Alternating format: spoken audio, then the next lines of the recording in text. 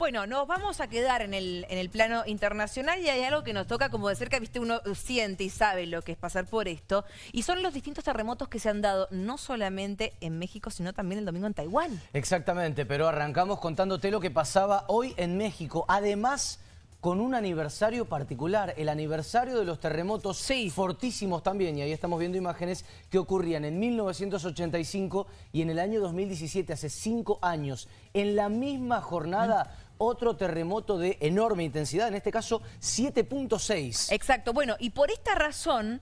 Eh, cerca bueno, de 12, 19 horas de allí, del Estado de México, el gobierno de la ciudad llevó a cabo un macro simulacro, ¿no? A modo de concientizar, obviamente, y preparar a los ciudadanos por este tipo de casos, cuando empezó a sentirse el terremoto. Increíble. Algunos se preguntaban si era real o no era real en las zonas más alejadas, porque los que estaban cerca, todo lo que es Ciudad de México, Colima, donde fue el epicentro, en realidad cerca de, de la costa, se dieron cuenta por el terrible movimiento. Las imágenes han inundado las redes durante toda la jornada Es que son algunas, te juro, escalofriantes. Estas que estamos viendo es de un centro comercial que tiene un gimnasio donde hay gente adentro que no pudo salir.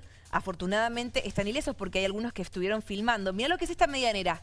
Vos fíjate cómo se mueve esa medianera, los árboles, los autos, todo. La verdad que fue desesperante como describen los mexicanos, que recién veíamos otra de las imágenes de un estilista que obviamente tuvo que salir de su peluquería por el fuerte sismo, por el fuerte terremoto, y terminó, siguió mm, eh, haciéndole el trabajo de tintura a la clienta en la calle. ¿Qué vale? Ah, mira, en la calle. Claro, no la podía dejar a media, pero digo, el susto de todas las personas que vemos a través de los distintos videos que se han viralizado a causa de este sacudón allí en México es impresionante.